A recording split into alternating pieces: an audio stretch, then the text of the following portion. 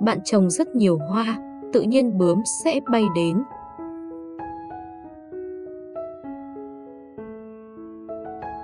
Tôi lớn tiếng gọi ông chủ ơi, có còn hoa hồng vàng không? Ông lão đi từ trong nhà ra, nhẹ nhàng nói, hết rồi, chỉ còn mấy đóa mà cô thấy đó thôi.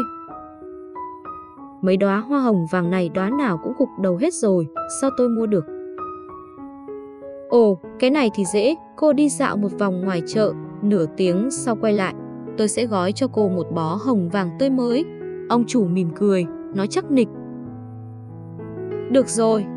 Tuy trong lòng tôi chẳng tin, nhưng lại nghĩ biết đâu ông ấy lấy từ cửa hàng hoa khác nên tôi cũng đi dạo vào chợ. Đi lòng vòng trong chợ khoảng nửa tiếng đồng hồ rồi quay lại cửa hàng hoa, ông chủ đã gói một bó hoa hồng vàng tươi mới bằng dây duy băng tím và để trên kệ cho tôi. Không tin vào mắt mình, tôi nói, đây chính là những đóa hoa hồng vàng ban nãy sao? Tôi như thể vẫn còn nhìn thấy hình ảnh gục đầu chán nản của chúng. Đúng vậy, chính là những đóa hồng vàng ban nãy, ông ấy vẫn tươi cười nói. Sao ông làm được vậy? Vừa nãy rõ ràng đã tàn rồi mà, giọng tôi vang lên đầy ngạc nhiên. Ông chủ tiệm hoa nói, đơn giản lắm, những đóa hoa hồng vừa rồi không tàn, chỉ là bị thiếu nước, tôi nhúng vào trong nước. 20 phút sau chúng đã hoàn toàn ưỡn ngực ngừng cao đầu rồi. Thiếu nước? Chẳng phải ông đã ngâm chúng trong thùng nước sao? Sao lại thiếu nước được? Cô gái trẻ à, cả cành hoa hồng đều cần nước đấy. Ngâm trong thùng nước chỉ có gốc của chúng thôi, giống như chúng ta ăn cơm vậy. Nhưng người thì không thể chỉ ăn cơm mà phải dùng não, có suy nghĩ, có trí tuệ thì mới sống ngẩng cao đầu được. Đóa hoa hồng cũng cần nước, khi ở dưới đất chúng được mưa tới nước nhưng sau khi bị cắt đi rồi thì rất ít ai chú ý rằng đầu của chúng cũng cần nước. Ngâm cả cảnh trong nước, chúng sẽ nhanh chóng khôi phục tinh thần. Tôi nghe xong thì vô cùng cảm động, đứng ngây ra đó. Thì ra là con người sống phải ngẩng cao đầu, cần nhiều trí tuệ hơn, cần thường xuyên ngâm bộ não khô cạn trong nguồn nước trí tuệ tươi mát. Bó hoa hồng vàng mỗi ngày đều ngâm trong nước, sau một tuần mới rụng cánh nhưng vẫn ngẩng cao đầu.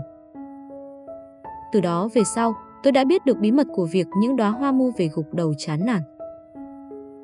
Cuối cùng tôi đã hiểu ra rằng chỉ cần mang một nội tâm tinh tế để cảm nhận mọi thứ thì sẽ luôn có trí tuệ dẫn dắt ta. Trong một đóa hoa, chúng ta có thể nhìn thấy cả vũ trụ rộng lớn, nhìn thấy cái đẹp và ý chí không khuất phục. Có một người bán hoa nói với tôi rằng hầu như tất cả hoa màu trắng đều rất thơm. Hoa có màu càng rực rỡ thì càng thiếu hương thơm. Ông ấy kết luận là con người cũng vậy, Người càng đơn thuần thì càng ẩn chứa nhiều nét đẹp bên trong. Có một người bán hoa nói với tôi rằng, thật ra những bông hoa nở về đêm thì ban ngày cũng rất thơm, chỉ là chúng ta ít khi ngửi thấy. Ông ấy kết luận rằng, bởi vì vào ban ngày, tâm chúng ta quá sôi nổi, không ngửi thấy mùi hương của ban đêm. Nếu như một người mà ban ngày tâm cũng rất thiên tĩnh thì sẽ phát hiện ra mùi hương của ban đêm. Hoa quế, hoa thất lý hương cũng rất thơm vào buổi trưa nóng bức. Có một người bán hoa nói với tôi rằng mua hoa sen vào buổi sáng thì nhất định phải chọn những đóa hoa nở to. Ông ấy kết luận rằng buổi sáng là thời gian nở tốt nhất của hoa sen. Nếu một đóa hoa sen không nở vào buổi sáng thì cũng sẽ không nở vào buổi trưa và tối. Chúng ta nhìn người cũng vậy. Một người khi còn trẻ mà không có trí khí thì trung niên hoặc khi về già sẽ càng khó mà có được. Có một người bán hoa nói với tôi rằng hoa càng đắt tiền thì càng dễ tàn là để nói với người mua hoa rằng, hãy biết trân trọng tuổi trẻ bởi vì tuổi thanh xuân là đóa hoa quý giá nhất, dễ tàn nhất. Mỗi cành hoa hồng đều có gai giống như trong tính cách của mỗi người đều có những điều mà bạn không thể chịu nổi.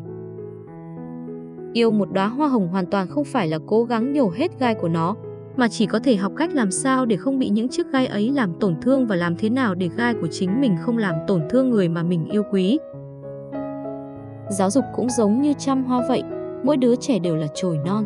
Nhưng nếu cứ bón phân mà không màng đến hoàn cảnh, thổ nhưỡng, không cho chiếu sáng, không cho thoáng khí thì hoa sẽ rụng, dễ sẽ tàn, hoa không nở, không ngửi được hương hoa, những gì thấy được chỉ là nước mắt của hoa. Có một câu nói rằng, mục tiêu cũng giống như những con bướm vậy, bạn đuổi theo nó thì sẽ rất mệt mỏi vất vả. Nếu bạn trồng rất nhiều hoa thì con bướm sẽ tự nhiên bay đến. Nguồn Thanh Vân trên trí thức Việt Nam.org Chân thành cảm ơn các bạn đã lắng nghe.